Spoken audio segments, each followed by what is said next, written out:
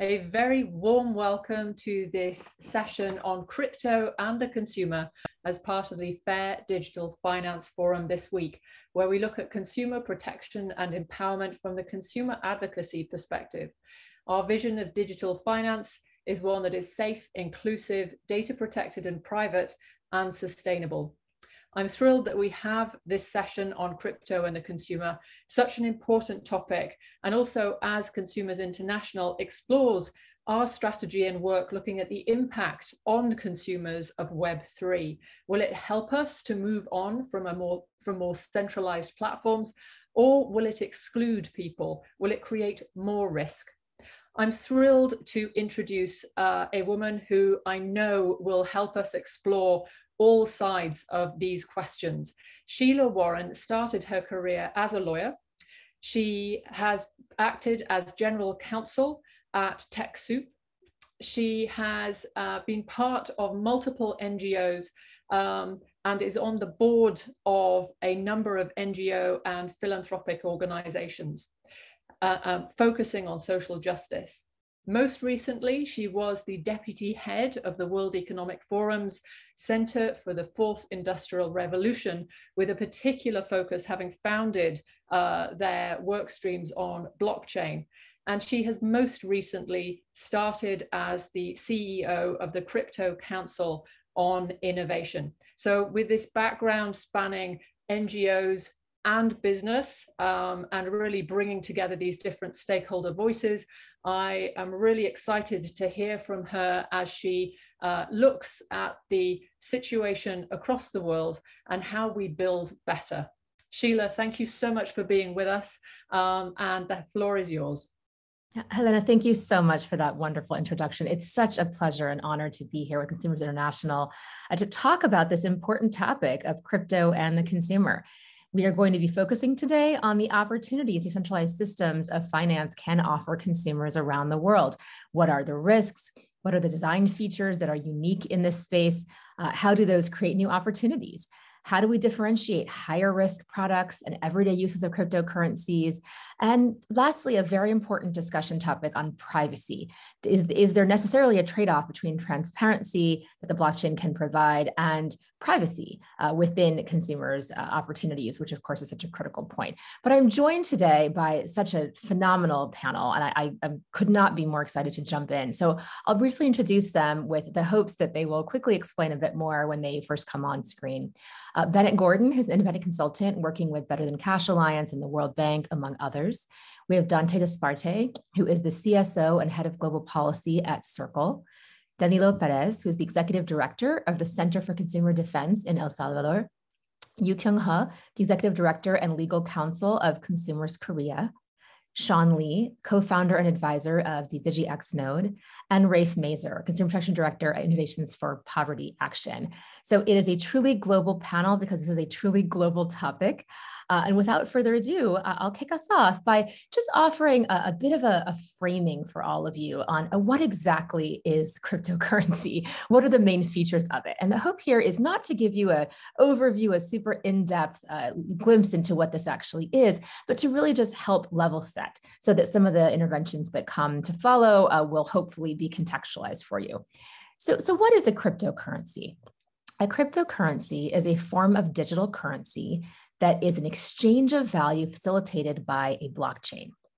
And so I think it's most important to understand what exactly a blockchain offers that other forms and models do not. So there are critical features of a blockchain that I think it's clear to understand. And the, the most important of them, I think, is that a blockchain enables a peer to peer exchange of value. And what does that mean? I think the best way for me to explain this is to illustrate an example. So if I were to go out to dinner with any of you, and I had forgotten any means I had of traditional payment, we might say, oh, no worries. You'll cover the check, and I will just send you using our mobile phones whatever my portion of the bill might be. We might use Square Cash or WePay or Alipay or whatever it might be, whatever the favored um, medium of exchange, the medium platform is in our in our jurisdiction. What happens then is that my bank talks to the application provider who then talks to your bank to ensure that the right amount of value is taken away from my account and credited to yours. And the reason we can both walk away from that transaction feeling confident that it's complete is because we trust our banks and the app provider to have a record that they are holding and that they are doing the right debiting and crediting. But let's imagine that we didn't have access to such a system, or let's imagine that we were in a very volatile world where we couldn't trust that the banking system was going to work for us for any number of reasons, which you can imagine. Imagine if we didn't need to have those intermediaries, the banks or the app provider between us. We could just engage in a direct exchange of value. Now, we're all familiar with this. It's called me handing you some money, me handing you cash whether that's whatever denomination, again, in the jurisdiction that we're in, or we might even agree, hey, we're in Europe, but we'll pay in dollars for whatever reason, right? We have the option for me to literally hand you some paper and some metal and call it a day. We can now exchange in that same transaction in a peer to peer way using a blockchain. We don't need to have those intermediary organizations that can control or gatekeep whether we're allowed to use their systems. Instead, we rely on a network of computers to provide the verification of the exchange we engaged in. Now, I won't get into details on something called consensus algorithms, but if you've heard of Bitcoin and Ethereum and other forms of these, one of the differences is how that network of computers works to verify the exchange of value. The important thing to note is that this exchange is similarly tamper proof, censorship resistant, meaning that no one can come in and change the record of what we've done. So it's equally robust. In fact, it's more robust, many argue, including me, than the intermediary and intermediated exchange of value that happens with banks. There are other features of a blockchain that, that people find very compelling. The immutability of the transaction is considered of paramount importance. That means that the record cannot be changed once it is created. And it's transparent in most cases. So we can see that my wallet, as we call it, sent some value to your wallet, the timestamp on when that happened in some cases. And then if you then send value to someone else, that is also recorded on the blockchain. So the increased transparency, transparency, excuse me, in the system can, in theory, if in the right enabling environment, provide more accountability. And this is something you'll hear from some of our panelists as being important in the consumer context. I'll kick off our panelists by introducing Dante Disparte to speak to, about, uh, speak to us about opportunities for financial inclusion.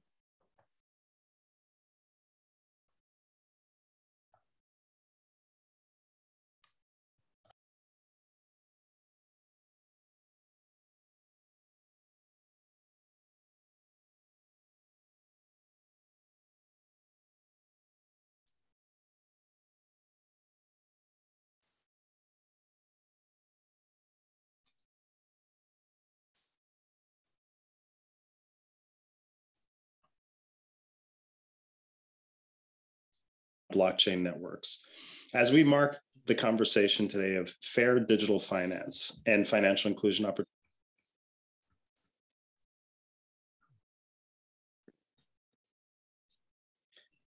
This is Dante Disparte. I'm Circle's Chief Strategy Officer and Head of Global Policy. Circle is a leading digital financial services firm and the issuer of a digital currency known as USDC, which has powered trillions of dollars of economic activity on blockchain networks. As we mark the conversation today of fair digital finance and financial inclusion opportunities, let me begin by outlining briefly where the analog or traditional brick and mortar financial system has fundamentally failed billions of people around the world. This is not an abstraction for me as I grew up poor and was the first in my family to get through high school or college. But the traditional financial system today has left more than 1.7 billion people behind. Access to the bottom rung of that financial system requires you to have an ID to satisfy a requirement known as KYC or know your customer. That adds on top of the 1.7 billion people who are unbanked or underbanked on the planet, a number of a billion people who have no method of achieving the bottom rung of the formal economy. And so, in that world, how then do we reach the first of the UN Sustainable Development Goals, which is to eradicate extreme poverty when we have so many people who are left on the sidelines. But for digital transformation of the financial system and fair forms of digital finance, I think the world is facing a double jeopardy. On the one hand, we're all talking about how to drive improvements in financial inclusion and to measurably improve the lives of people all over the world. But yet, on the other, we're afraid of digital transformation we are afraid of technological transformation in fundamental forms of how people are banked and what it means to be banked. I'm an optimist and an entrepreneur. I believe that if every internet connected device on the planet, something as low cost as a $30 smartphone, becomes a part of a compliant payment endpoint, we could extend the perimeter of payments all over the planet in meaningful and sustainable ways. Digital assets, crypto finance, digital currencies are a part of this transformation, what some are referring to as the third generation of the web or the internet, where the first was the ability to write content. The second was the ability to read and write content, which has had transformational opportunities in how we've removed friction from information sharing and democratized access to knowledge all over the planet. The third generation of the web or the internet is the one we're in now, in which you could now read, write, and own digital content. Those, of course, must be trusted, well regulated, and advanced standards of consumer protection and choice in order for them to scale to the billions of people that I just described. This animates Circle's mission as a company, and it animates my work as an entrepreneur in this space. It's an honor joining you today virtually, and I hope very much that the conference is a success. Thank you.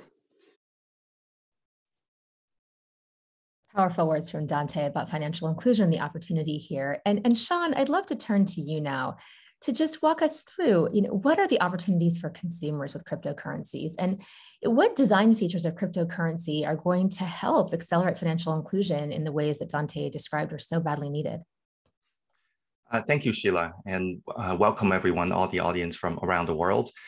Um, I think the, the opportunity for consumers are really boundless. Uh, I, I, will probably start with the opportunity to be aware uh, of crypto to, to start with from, for, for, for the general audience. Uh, if you think about the, the notion that uh, this, this crypto you know, adoption is growing re really rapidly around the world, you know, with services like PayPal now, even, uh, even uh, enabling for crypto buying, uh, I, I, think a lot of the consumer-friendly platforms are starting to really go that, uh, go that route. and then, of course, you see you know companies like crypto.com making big splashes on you know sports uh, sponsorships i think all of that is really helping bring broader awareness uh, so so the opportunity to be aware for consumers around the world has certainly increased a lot uh, over the last uh, year or, or, or two now if you think about the opportunity to use um, I was reading the other day the, the consumer adoption report uh, in, in 2021 that was done by uh, Cointelegraph. And, and, this is one of the, the largest research going into kind of consumer use of Bitcoin and other cryptocurrencies for, for shopping and payment purposes. The, the report actually shows that uh, crypto consumers are really scattered all around the world, right? Uh, and I think you you covered a, a bit of that already, uh, Sheila, early on. Uh, they have varying, you know, demographic features and are also from different um, social geographic, uh, social economic backgrounds as well. But mostly they are they're young people, right? Uh, as many of that is coming from the, the world's most fragile economies, and they see an opportunity uh, to participate in the global digital economy in cryptocurrencies. Uh, you have, you know, immigrants' uh, interest in, in crypto shopping. That's also quite remarkable now uh, due to the easier remittances uh, possibility in crypto. Uh, and then, of course, those of us that are living in developed markets, you often see you know, opportunities where you can invest in crypto via any type of products that are being offered uh, in, in our economies, but at the same time, really, uh, you know, the, the, the opportunity to, to use it uh, for everyday work as well. So I think the, the opportunity to use has certainly grown, grown leaps and bounds uh, over the last uh, year or two. What's probably lacking though, it's broader education that so that more people actually know know know about it. I, think uh, you know if you hear a lot of the things that mass media is talking about in terms of cryptocurrencies, very often is quite uh, negative. Um, you know, it go from kind of energy usage to uh, to now, of course, uh, you know about sanctions and whatnot, but haven't really focused enough about the the positive usage uh, of crypto uh, and and everything else um, that that we talked about. So I think the, like I said, uh, to conclude, I think the opportunity is boundless uh, for consumers nowadays. It just takes um, someone, you know, some time to actually take a look at it and see what products and services may make sense for them. Thank you so much, Sean. You make such a great point that, of course, cryptocurrency is not a monolithic space. There are different design features uh, that do provide different opportunities, but also, of course, different challenges and risks. And so let's turn to that side for a bit. And, and Bennett, we'll start with you. I'd like to understand, just from your perspective, what are the risks for consumers about this, this uh, new class? And do decentralized systems you know, facilitate greater privacy as an improvement potentially? Or is there a trade-off between privacy and transparency and accountability uh, that, that you're seeing? We'd love to get your thoughts on, on these topics. Yeah, it's a complicated question. There's a lot of things to unpack there. Um, when I was uh, when I was in my finance 101 courses, they, they taught that there's a that there's a relationship between risk and reward. That um, you can't have uh, too much reward without taking on more risk. And in the crypto economy, we're seeing people making 10,000, you know, thousands of times over in terms of reward. And so to me, that indicates that there's a commensurate amount of risk. Um, a lot of times these, these crypto assets are being treated like securities, um, where, but the fact is that there aren't the government protections that normal securities may take on. And so to me, that indicates that there's quite a bit of risk involved in a lot of these um, in a lot of these crypto products that maybe that that don't have a uh, that aren't fully clear to a lot of the consumers that are out there.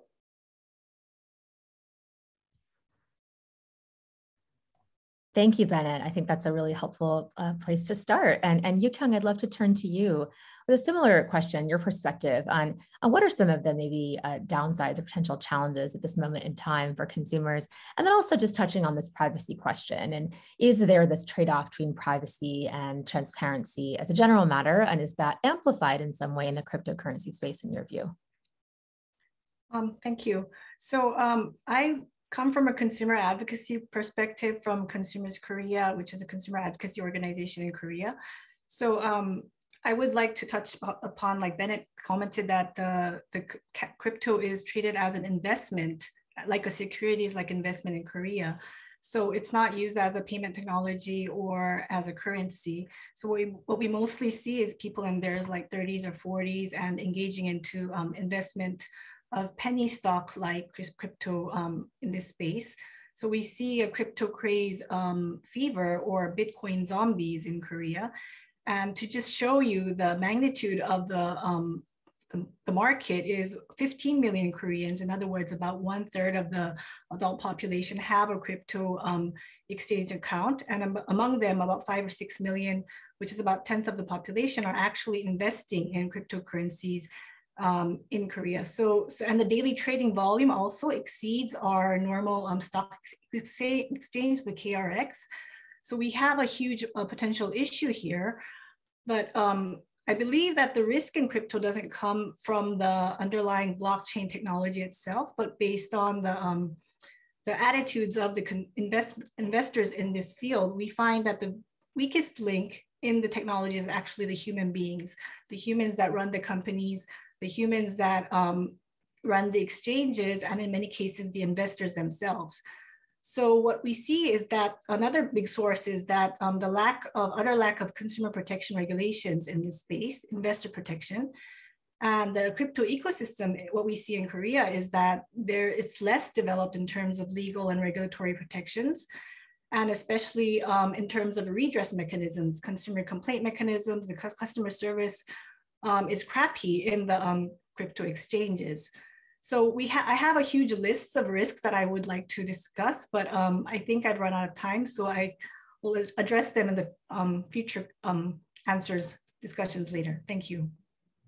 Thank you, Yu Kyung. And then we'll turn over to Rafe uh, to round out this, this uh, particular intervention. It's of course an interesting point you make, Yu Kyung. It's a it's a critical point that no technology is going to change human behavior. It can incentivize certain kinds of actions and it can disincentivize certain other kinds of actions, but human behavior is going to make use of any technological innovation, uh, what it chooses to do. And so part of the role of policy, of course, is creating that incentive path to ensure that pro-social behavior is encouraged and antisocial behavior is discouraged. But Rafe, let's hand it over to you to talk about this in the context of innovations for poverty action, please.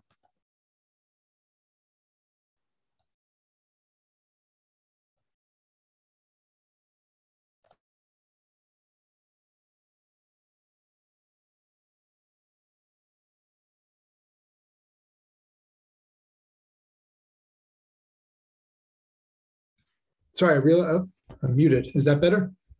Yes, thank you, Rafe. Okay.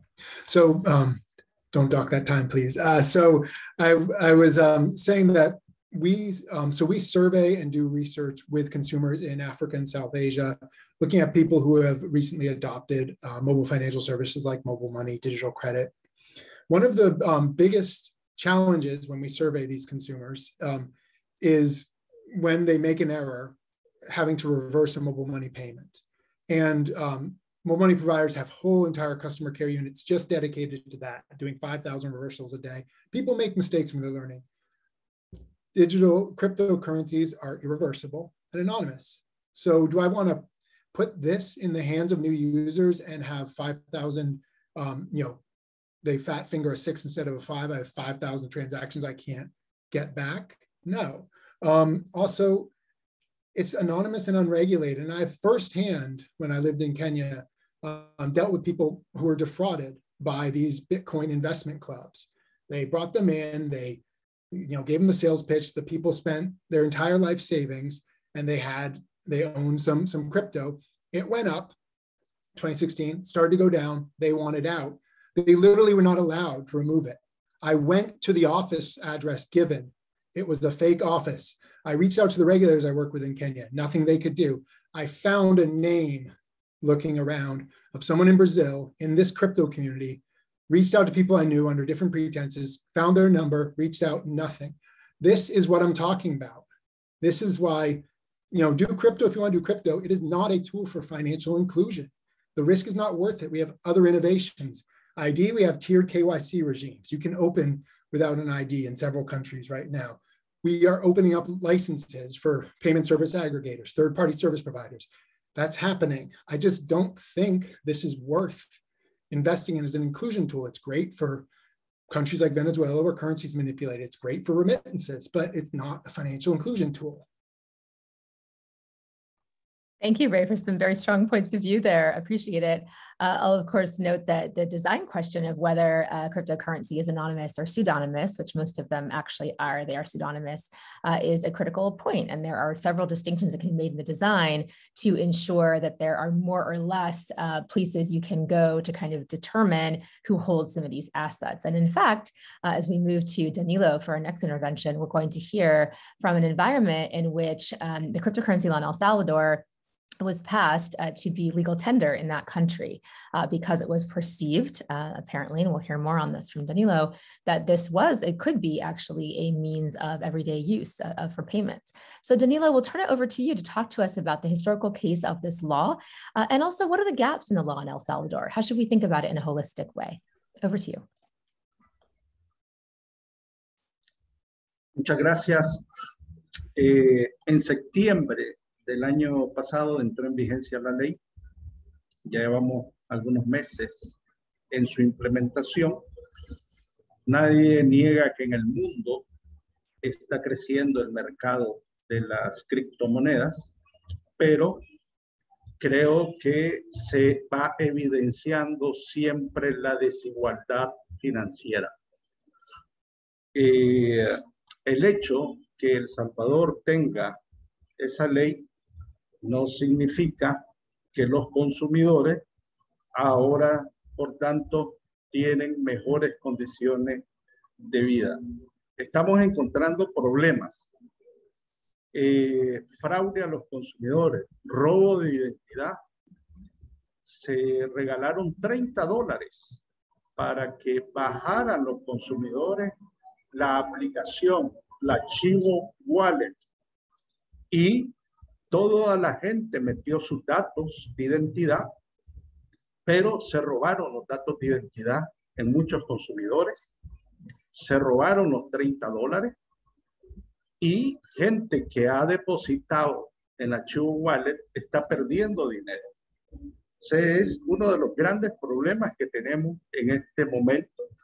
Tenemos la protección de datos con grandes problemas el gobierno tuvo que cambiar a la empresa creadora en los Estados Unidos, que empezó a crear toda esta idea y la ha, y la ha cambiado.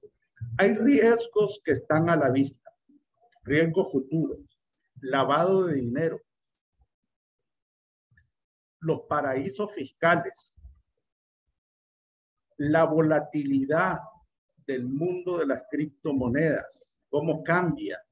Estamos viendo en el conflicto Rusia-Ucrania, cómo ha cambiado el precio. Entonces yo creo que esta es una gran oportunidad para los que tienen dinero, porque pueden darse el lujo de invertir en criptomonedas y esperar que el dinero, que suba el valor.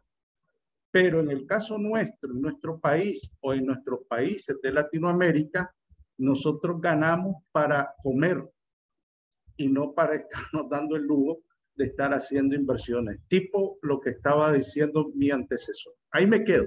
Gracias.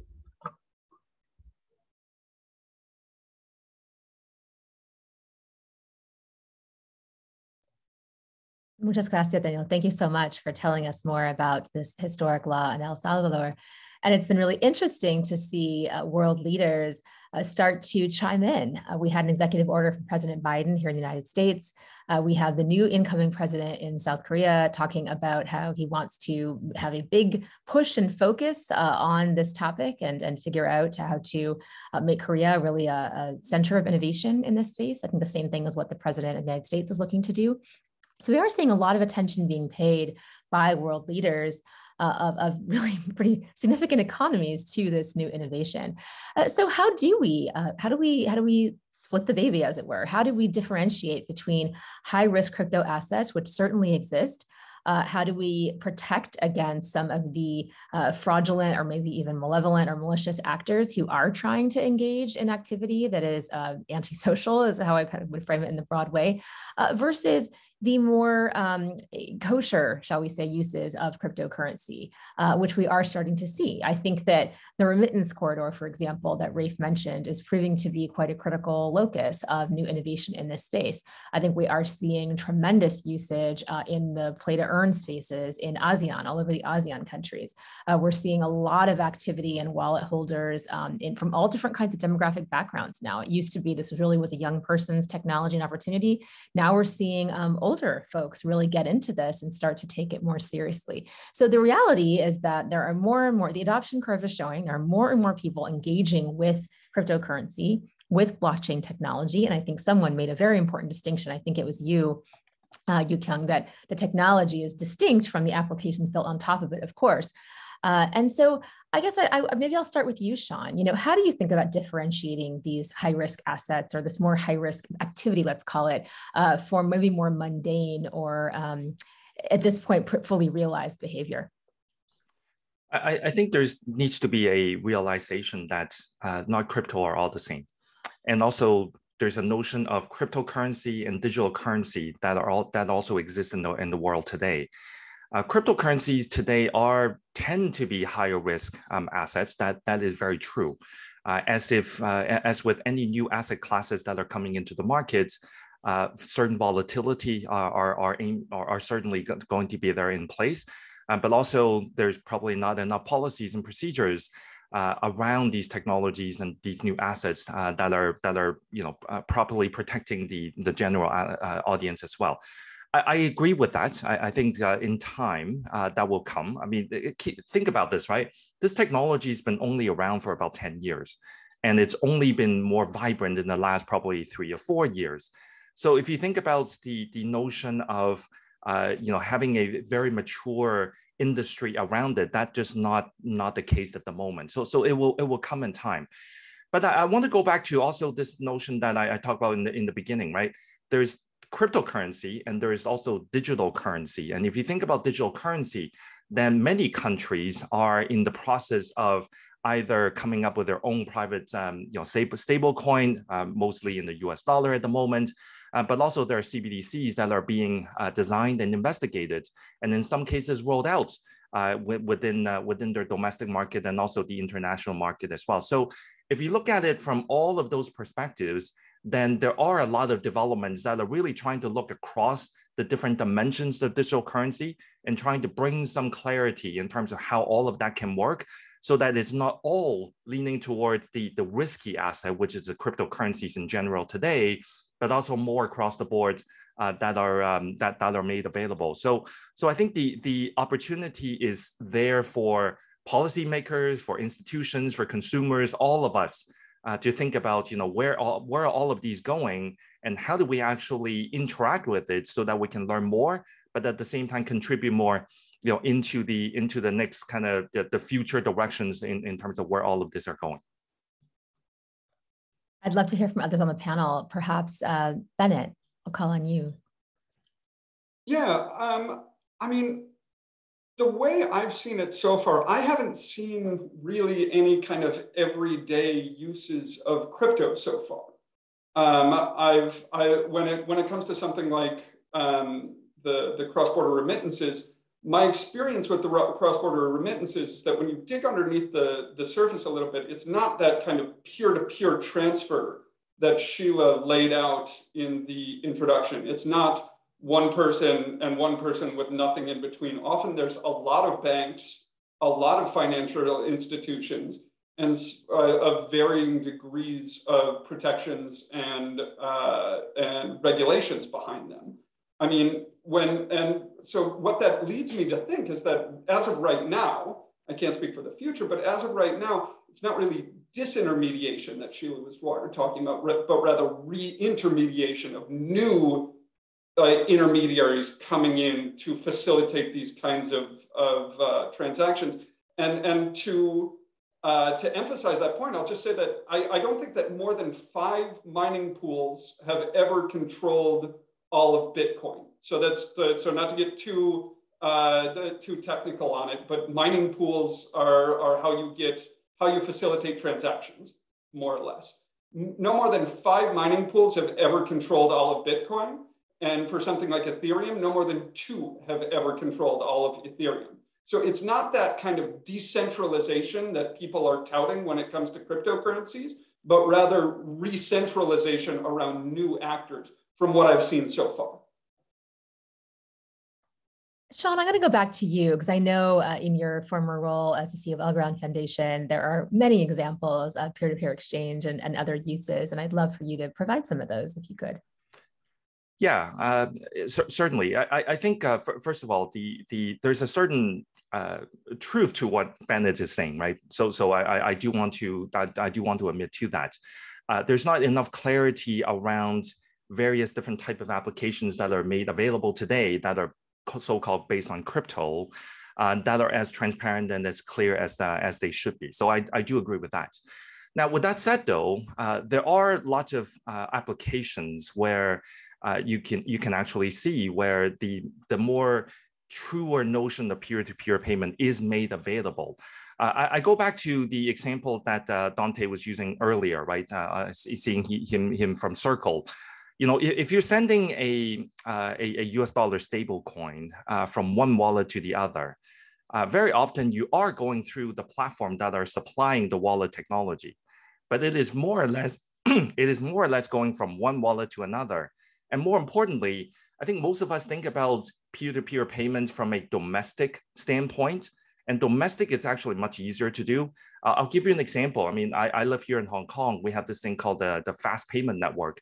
Uh, it is mandated by the Monetary Authority of Hong Kong, and it basically connects all the banks together where we can just basically use one mobile phone and I can transmit from HSBC to Citibank to Standard Charter. So that type of thing is already made available, but it's still made very much in a domestic sense.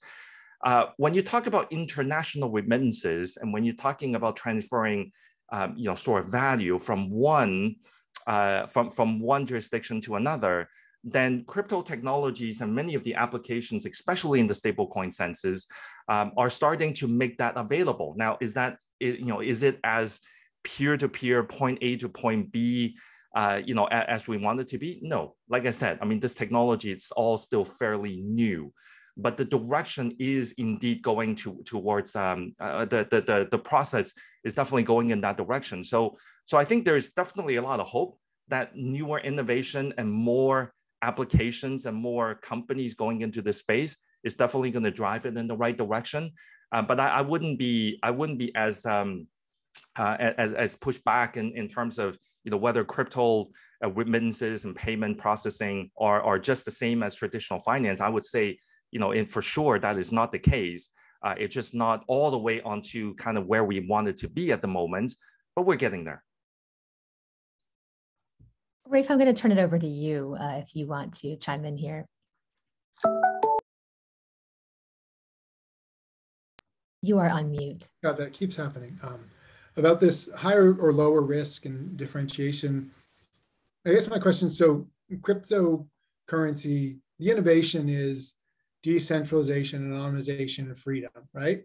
And so if we're going to, so who's going to distinguish higher or lower risk? Who's going to have punitive measures? Are you going to create a ratings agency that is self-governed? Because then you're you're getting away from what I think was the innovation, right? That it's it's free, it's open, it's democratized, and you're basically just creating another financial supervision mechanism of another, you know, another, you know, currency market. And so I don't really, if you have to start doing that, then I mean, why are we creating this? Why aren't we just improving the existing financial system, improving interoperability, right? Some of what you talk about sounds like Visa, MasterCard, sounds like SWIFT. Um, you know, when I look at the remittance case, I see a market failure because of cartels, bank cartels, and pay, uh, and you know remittance cartels in these markets. And I think it's great that this workaround has happened and it's putting competitive pressure. But I just I'm always confused you know, I don't you I don't get the sense you want like true proper financial regulation, but self-regulation never works in financial services. Look at the mortgage-backed securities. I can sell you some from 2008 that had an A rating. You know, I mean, it's just I don't I don't really. It feels like that's changing what the whole point of crypto was um, from my sort of relatively naive understanding. Well, I think I can certainly speak on behalf of a big part of the industry when I say that there is a lot of openness to regulation. And I think recognition that regulation is actually critical to ensure that some of the opportunities presented by blockchain technology and by some cryptocurrencies, which to Sean's point are hardly monolithic, very far from, uh, I think are preserved and protected, and that this is used as a tool of empowerment of consumers. And whether you come at that, I think what's interesting is the different perspectives that lead different actors in the crypto ecosystem to that conclusion. Some come from the sort of freedom, liberty, you know, standpoint where they're very much about the inability, wanting the inability of government to shut off their ability to transact, but to make sure that those transactions can be done in a safe way, all the way over to others of us in the ecosystem who are very concerned about those who have been historically excluded from legacy technologies and legacy financial system.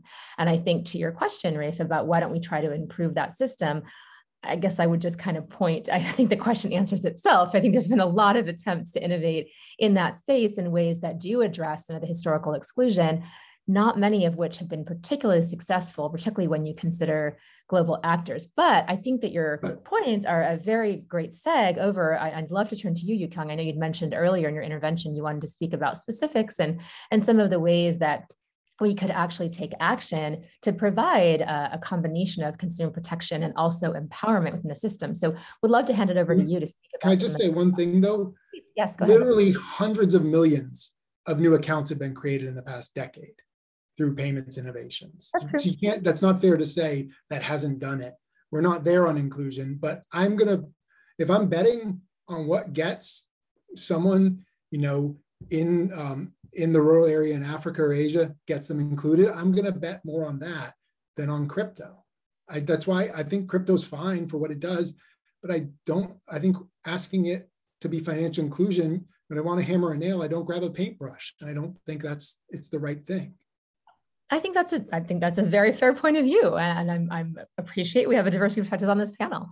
Uh, I'd love to get into specifics though, YouKyung, and just talk about some ways, given that I think we all also agree that crypto is uh, and whether it's a coming tsunami or whether it's more of a, an exciting wave, I think depends on your perspective. Nevertheless, we are seeing uh, more and more adoption around the world, and therefore, I personally feel there's quite a bit of urgency to make sure we get the policy environment right, so that we don't uh, open up a lot of folks to, uh, you know, illicit behavior. We don't allow the example that you talked about, Rafe, to be the dominant example uh, in the space, which I would argue it currently is not. Nevertheless, those possibilities exist. So YouKyung, let's hand it over to you to just speak to, again, some actions or specifics or other points that you have here around the kinds of regulations that really could be most beneficial in this space to protect consumers and empower them within this ecosystem.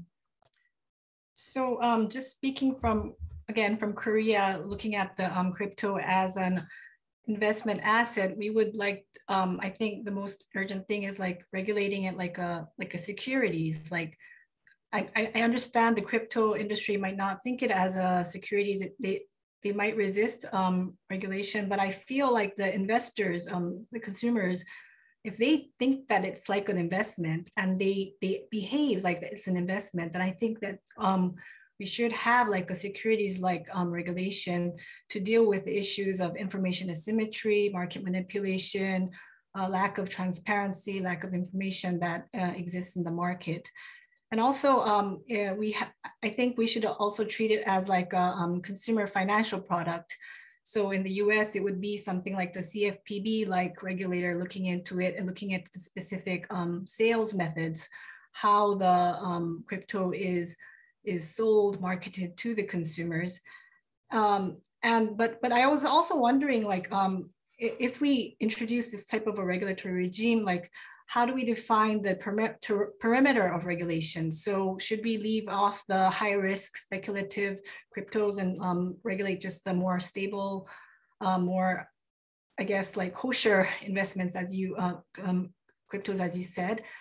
And um, another like actually big question is, that can the crypto industry endure this type of a financial regulatory costly complex compliance regime that we have for traditional financial regulation um, I'm really skeptical, skeptical. I've never seen an industry saying that we're so happy to have um, regulation in this space. Um, I've never seen it in financial regulation. I'm really um, interested to see um, how the industry response is, especially um, with regards to the Biden executive order or we see in the EU too that we see regulations that are similar to securities like regulations um, that are being introduced in the space. Thank you. And I'll hand it over to you, and then I'm going to turn some to some audience questions. So Bennett, take it away. Yeah, I'm just going to add a little bit. I, I understand that that a lot of this understanding around blockchain is presented as very new. Uh, the fact is, blockchains have been around since the 90s. Um, the Bitcoin itself has been around since 2008, which to me seems right just around the corner, but that's actually coming up on 15 years ago. Um, M-Pesa came out the same time and has completely changed the lives of everyday Kenyans and, and really actually succeeded at providing financial inclusion. And it's in part because they do things like they require a one-to-one ratio for every shilling that they put in the, uh, into the economy, they have one shilling sitting in a bank account somewhere. For the stable coins and other liquidity providers inside of the uh, inside of the um, in, inside of the cryptocurrency space, I would be surprised if they were open to that kind of a regulation. If they are, I, am I'm, I'm, I'm willing to hear it. But that kind of one-to-one ratio for stablecoins, which would actually provide stability and transparency inside of the economy, I'd be surprised if they were actually open to that. I can confirm that many of them are. it's in part my job to know what they are thinking about that particular topic.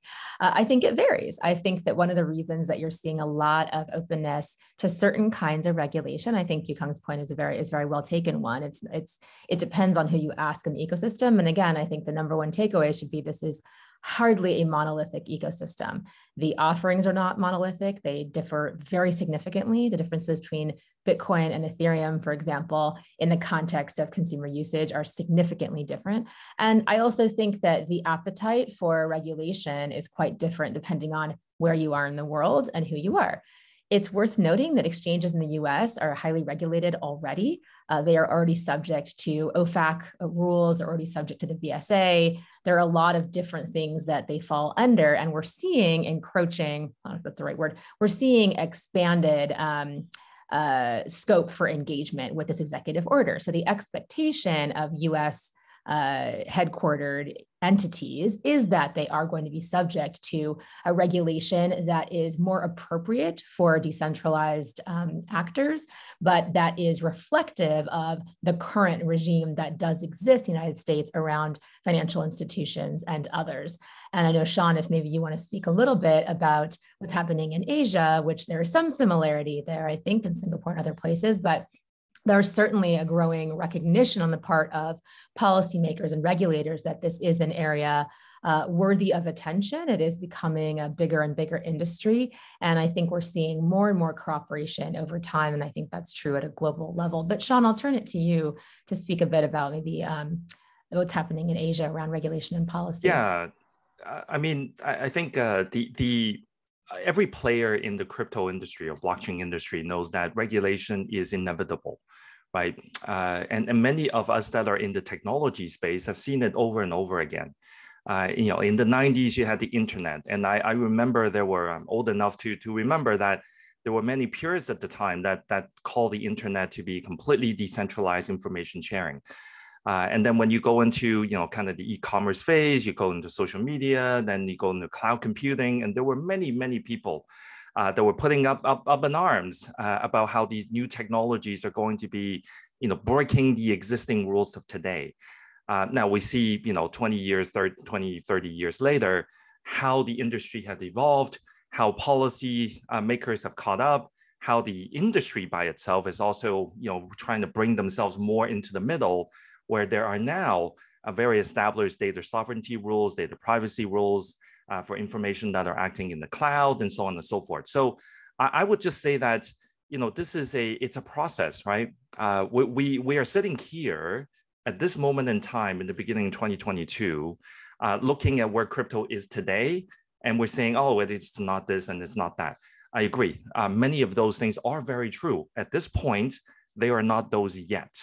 Uh, but it takes all of us to really think about ways that can that can actually make it there, right?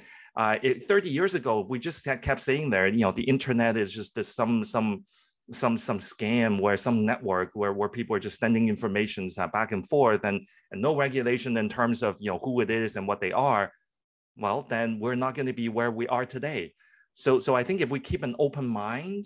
Uh, and, and many in the crypto industry, and I can say this for a fact uh, as well, seeing, seeing I, I, I am in the industry, that we are very open to regulation. Now, what I'll say one more point. What many in the crypto industry are worried about, however, is that you have very, very drastically different regulation from one part of the world to another. And that makes it very hard, right? Think about the internet again. Internet is global. Crypto is global. A lot of these per public permissionless blockchain are global.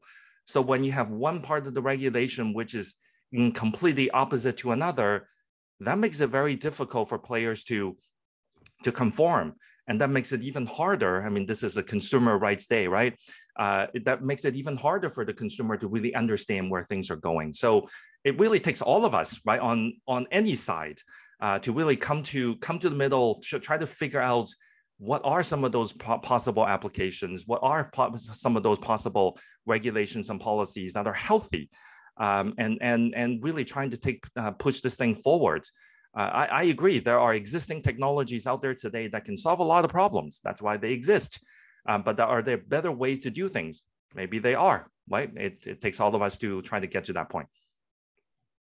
Thank you. So I'll turn to audience questions. Uh, there are some questions I'm just going to ask panelists to respond to in the chat. For example, someone has asked, uh, what is literature that others might uh, those might read you know that we would recommend if they're looking to educate themselves a bit more. So i'll invite panelists rather than spending our airtime there to put some uh, links or other things into the chat and i will do the same. Uh, we had a whole paper when i was at the forum on consumer protection really walking through what kinds of regulations would be most effective uh, particularly at a global level um, and and most impactful in terms of consumer protection. So i'll put that chat in there as well. But there's a question uh, that is about um, what are positive examples of, of tokenization? Uh, or is just the act of tokenizing something a way to bypass the regulations that exist around capital raises? which is an interesting question. And so I wonder um, if somebody wants to respond to that. Sean, you're probably the best person to talk through positive examples uh, of tokenization. I'll offer one, which is we have seen um, in the standpoint of governance tokens uh, that are really used to provide weighted voting in different systems. There were a couple of cities in the United States, Berkeley being, I think, I believe the first, uh, the city of Berkeley, California, that used governance tokens to basically allow people to uh, weigh in on what the municipality ought to focus on in terms of city improvements, which road should be fixed or what park needed to be, you know, spruced up or, or whatnot.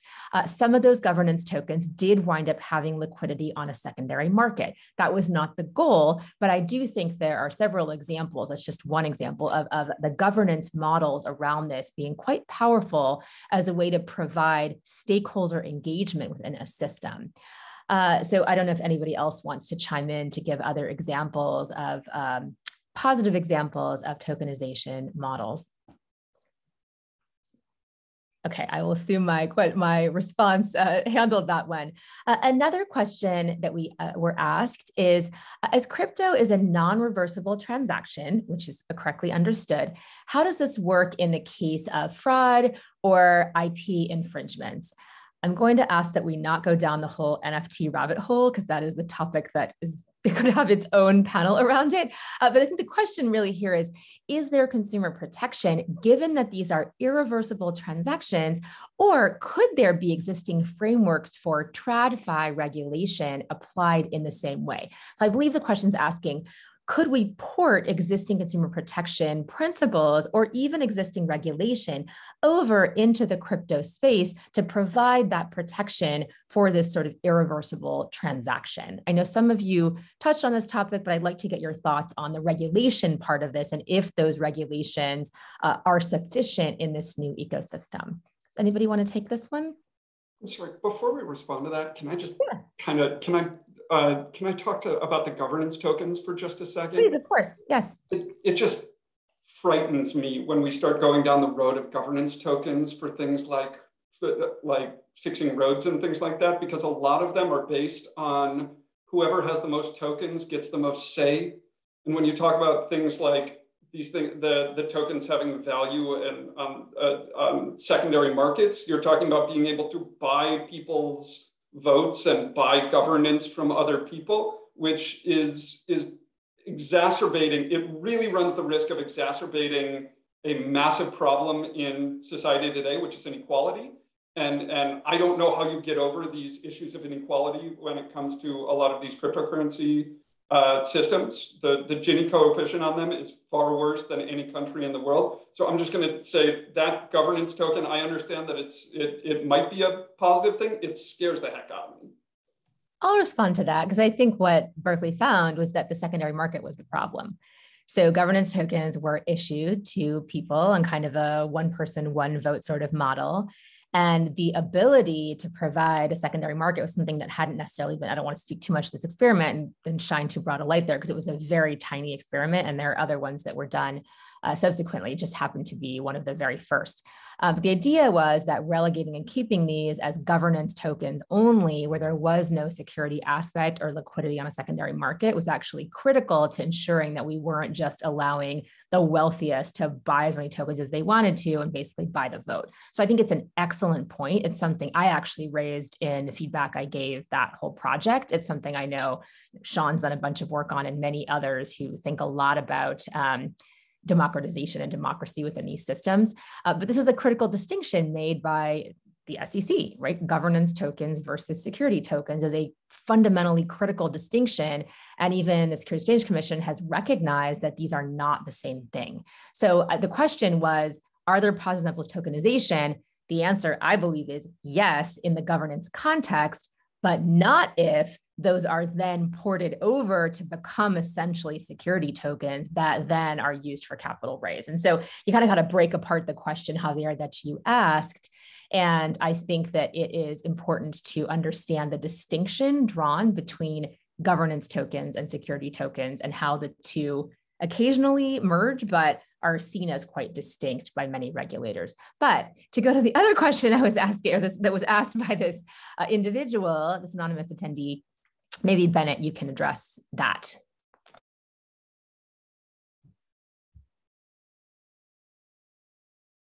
I believe you're on mute. Sorry, can you repeat the question real quick? The yeah, um, it's in the Q and A. It's the second okay. question Q and A, and the question uh, is: Because crypto is irreversible, can traditional regulation in the consumer protection arena be used to protect consumers in this context? I mean, it's a very good question. I don't know. I, like most of my work has been in um, in in places like Kenya um, and uh, and sub-Saharan Africa, where um, one of the things that I dealt with as a um, we, we set up a, uh, a merchant payments network where we were one of the first, I, I was, we were the front, one of the first people to set up coffee shops and bars and auto parts stores with the ability to accept digital payments. And the reason why we had a job was because of the problems that companies were having with this reversibility issue that like that that people were coming in they would buy something, walk out, and then get it reversed, or maybe they couldn't get it reversed. And so, so my company was was a uh, um, was allowing was allowing businesses to transact more easily on a digital payment system, which was M-Pesa. Now, we were a middleman. We we we stood in between the companies and M-Pesa, which was the uh, which was the payment system, and then the consumer. So there, so now there's four parties in that model. Um, that's intermediation. And so when you start talking about making these things happen more easily, you're, you're talking about bringing in more middlemen, which kind of goes against that whole idea that you put forward at the beginning, which was a peer-to-peer transaction. Um, and so I don't know how you square that circle. I think we are almost at time, but I see a lot of hands raised. So YouKyung, I'm going to go to you. So I just have one um, comment. So based on our complaints review of the um, of the cryptos uh, exchanges in Korea, is that a lot of the um, um complaints were about refunds. They, they wanted refunds, and it, it involved a lot of the middlemen. Like I sent money to somebody, but the somebody um, took away the money and how can I get my refund? So it, it, I think it's just not a theoretical question, but it's like very, very important questions that a lot of investors are facing right now in Korea. Danilo, I see you have a hand up. Would love to hear from you as our final comment before we wrap. Hablaré despacio. Eh, yo sí creo que hay varias y muchas experiencias en el mundo y estamos avanzando en la digitalización financiera. Pero necesitamos como organizaciones de consumidores, al menos desde Consumers International, tratar de incidir en el tema de la regulación. Y segundo aspecto, tenemos que tener más evidencia científica o técnica de los problemas que se están dando en el mundo para trasladar la información a los líderes mundiales que den elementos para la regulación. Muchas gracias.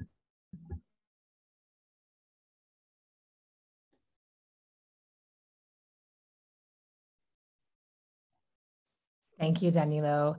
Well, we could go on for another half hour, hour or more. I know with this excellent panelist with uh, some very, very feisty conversation, which I very much appreciate. I think you've heard that this is an area of ongoing focus.